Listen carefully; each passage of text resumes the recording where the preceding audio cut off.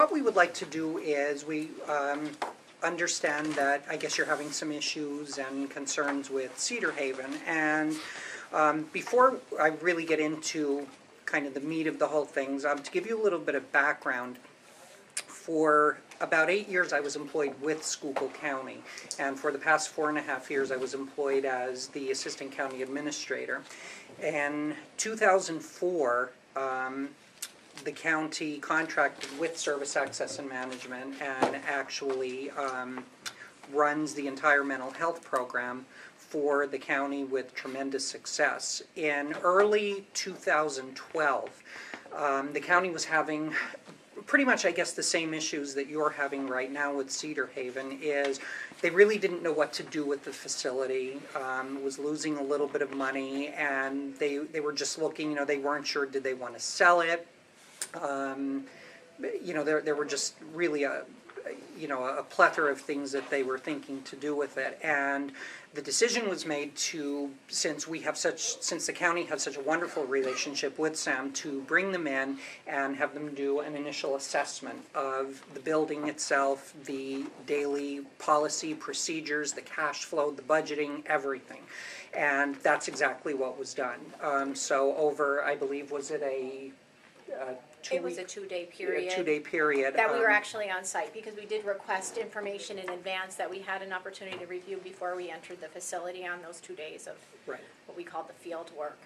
And then they came in, actually met with um, various department heads from everything from IT to nursing, um, to the administrator, to the business office manager, and compiled all the data and then came back to the commissioners with their recommendation. And as it turns out, um, they did enter at the time in, I believe it was July of 2012, into a three-year contract um, with Service Access Management to actually run the facility itself. The commissioners still have their hands on the pulse of the nursing home itself, but they run the day-to-day operations of it, the budgeting, the financing, pretty much everything. They provide reports to the commissioners as far as the numbers and everything goes. Um, One, you know, being that's the last place where people can go. It's you know the poorhouse and stuff like that. But you know the reality is is that all, as all nursing homes are, it's a business. And really, I think what Sam has been able to do, um, you know, in that short time frame, has been something that the county would never have been able to do itself. It really has been tremendous as to what they can do, and I think the same can be done for Cedar Haven. Is the uh, pension for the Rest Haven employees, is that pension plan current, up to date? Yes, when, when Sam came in, they took, um, I believe, ten of the employees to basically just start out. They took a lot of the key players, administrator, business office manager, um, the entire business office staff, staff development, activity director, a lot of your big players. And we're hoping that in early twenty fourteen, that Sam can take on the remainder of the employees for the facility. Now, Rest Haven is a one You're hundred and saying forty. took them as your As employees Yes. at Sam your employee. expense? Correct, Yes. yep, So they no everything. longer work for the county? Nope, work for Right. you. No. Okay. Rest Haven is a one hundred and forty-two bed facility. Um, and we're hoping to take on all the rest of the employees in very early next year. And what is the, uh, you said that the commissioners still have their hand, in what is the relationship then be- between the facility and the county commissioners? Um, well, we provide, um, me, we, uh, have meetings with them, provide reports at their discretion. I believe that we try to meet with them quarterly. Yes, and, and the contract is, um, I would call it administrative management, an administrative management contract. That's why we, you know, selected those, or the commissioner selected those ten employees that were the key administrators of the facility. And, um, so that's the way that we've been trying to, um, handle it. So essentially, Rest Haven then is your business, am I correct? We manage the day-to-day operations of it, yes, it And- is. And, and if there is a shortfall, uh, where does that come from? The shortfall is, it would come from the county itself in the form of a short-term loan, which is then paid back as needed. Um, like the loan would be as needed. the, when we went, we went in in March of two thousand twelve to do the assessment, and, um, actually started on July first of two thousand twelve. And with that, we agreed to negotiate with the union on behalf of the commissioners, because at that time, the union contract still wasn't resolved from, I believe, two thousand ten. So we have, we um, began negotiating with the union on, on their behalf. We also um, brought in our own general ledger system. So we actually process all of the accounting reports and the checks are processed at the facility. But we're able to bring our, um, upload all of our data into the controller's office so that they were um, able to rely on that data for their internal reporting as well. So that's one of the things that we took out of, um, from the county because it's a lot of work, the payroll, um, for that many employees, and I'm sure you have three hundred plus employees, so that's a, it's a big amount of, of payroll checks and, um, accounts payable checks. So we brought that all in-house, um, at Rest Haven as well. And, um, we're able to satisfy the controller's office as far as controlling segregation of duties, all the things that they need to do.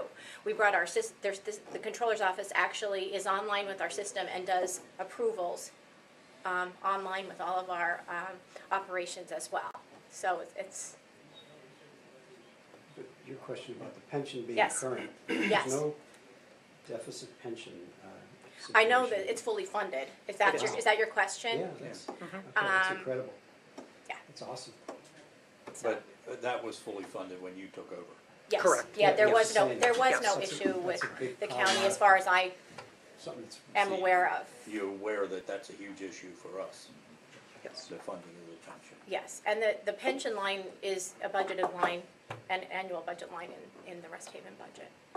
What was the cost when you did the assessment initially in March of, Oh, it was minimal. Paul, do you 2012. remember? I believe it was, um, was it six thousand? I think it was six thousand dollars. $6,000. and how do you base the, so the county, the county's paying Sam Yes, to run the A facility? management. uh, it's, a- we have a management contract, a Okay, three-year and what- management contract. What is the fee based on, or is it a, is it a flat, is it? It's a flat amount based on, um, the number of employees and all of the, the corporate work that we provide to the facility as well, that, what we bring into the facility. Right, because a lot of what was being charged to Rest Haven were indirect costs. Right. For processing the check requests every day, processing the payroll, um, IT support, things like that. Um, that pretty much, a lot of that has just been wiped out because now Sam does all of that itself internally. They process at Rest Haven, um, they uh, print their own checks. It's, again, everything is approved by the controller's office. No checks can be printed or released without the controller's approval. Um, There was a whole process that was set up that actually did work very well, which I was involved with that as still being part when I was um, employed with the county.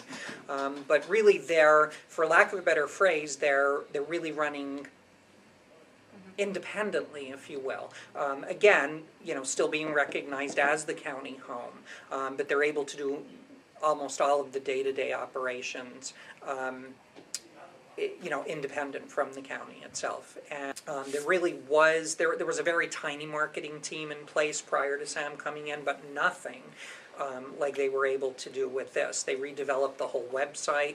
Um, they're now on Facebook as, you know, that seems to be the trend nowadays. Um, and it really has worked. Have there been reductions in staff uh, at Rest Haven?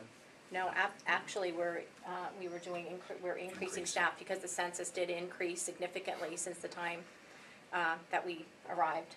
So there's a need for an increase in staff per patient day, so, um, and the same, the, sa- we have the same amount of management staff as well. Their director is still there? Yes. We have um, the the uh, nursing home administrator, the business office manager, the three business office staff, um, staff development, maintenance, activities. um, Director of Nursing. And the director of nursing is not with us. Oh, okay. Yes.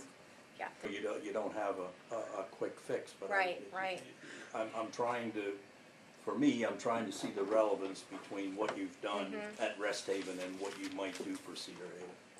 I think like Craig said, the strategic plan is, it was one of the ways that we could actually dig into all of the departments to identify where the strengths were and where, you know, so we can build on those and as well as where the weaknesses were and also we involved the uh, residents and their families. We did staff surveys to find out, you know, what was happening with that, so, Those were the things that were necessary related to their particular problems. Right. We don't really, I mean, understanding the Right. financial concerns that you're Right. expressing, we don't really have a sense of, you know, the root causes of your problems, and we wouldn't necessarily know that without having a little bit more opportunity to take a look at your information.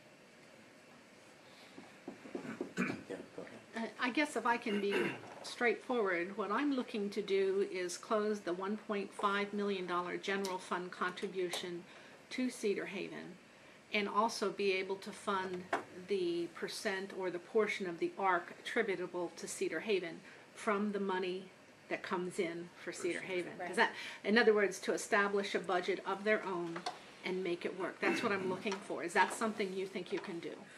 and, and that's what we, that's what, um, our goal was for, um, Schuylkill County as well. I will say, um, based on the way that revenue was received for nursing homes, there's a cash, there's a difference between, the, the cash flow need is a very important aspect of running that facility. You can have a balanced budget, but the, the way that medical assistance is paid and the timing of those payments, there is still a cash flow need. So as far as a permanent general fund allocation versus almost like what we would call a line of credit, there's, there still needs to be a cash, a cash availability to that home to be able to operate, just based on, on the needs of the facility.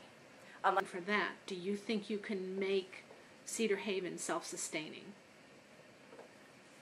Well, that, that's usually our goal, That, that would be the goal going in, yeah. but, you know, and like Craig said, until we were able to sit To down try with to understand what the administration, cause is, understand, right. yeah. That's, that's our. It was done with Rest Haven itself. Um, and one of the goals, um, well, I know when Sam initially came in and they looked at everything was, um, how, you know, they looked at all of the contracted services because like many nursing facilities, a lot of the, um, the, the daily operations is contracted out, laundry, um, pharmacy, things like dietary, um, physical therapy, They things are like that. contracted. And Well, you know, one we- of. We tried to do that here, uh, with dietary last year, it would have saved us five hundred thousand dollars, but the union grieved it and won an arbitration to stop it, so. Well, Those one- are nice things, I mean, I would like to have seen that go farther too with the laundry and, you know. Well, so Rest Haven was contracted with um, a laundry company, and for many years, even from when I was there, and that's going back to 2005, and laundry was taking taken a look at, um, just from top to bottom. There were a lot of issues like with missing, missing clothing items, which then the nursing home itself becomes responsible for. So a cost analysis was done, and it was actually. Um, more cost beneficial for us to bring the laundry service back in-house. And that's actually what happened is we, we just completed that, I would have to say maybe about three months ago, with tremendous success. We actually partnered with the company um, that does the housekeeping, has the housekeeping contract for Rest Haven. And they came in, brought in the equipment, we completely redid a room to have the laundry facility there. Um, the lost items went from, I I don't know how many a day, to zero. But you're still contracting. We are, st- we are You're just contracting Doing it. it in the, within the facility. Correct. Yes. Um, but it, you know, just that alone is going to save the facility, um, year one, over thirty thousand dollars. The- The overall budget of Rest Haven is, is what, approximately fifteen million maybe? or- About I guess? eleven to twelve. Eleven. Eleven, twelve million, Yeah. okay. Is, is any of that county support now? Is there any general fund county support going to that budget, and was there before? Is there now, and if so? No, there is, there is no county allocation that's actually budgeted in.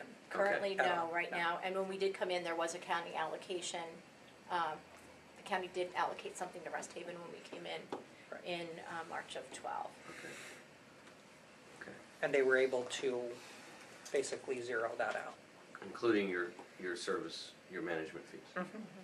That was all. The things that, that Schuylkill County does is they do zero-based budgeting, which means that, you know, they just, every line item has to be justified. And, you know, they've basically done that, um, with success, so. Do you uh, run other um, facilities for other counties? No nurse, no long-term care facilities. I, I was just gonna say, we, we don't operate any other nursing facilities, but we have operations in fifteen other counties across the state. What, what kind of things? Uh, we do mental health, mental retardation services, we do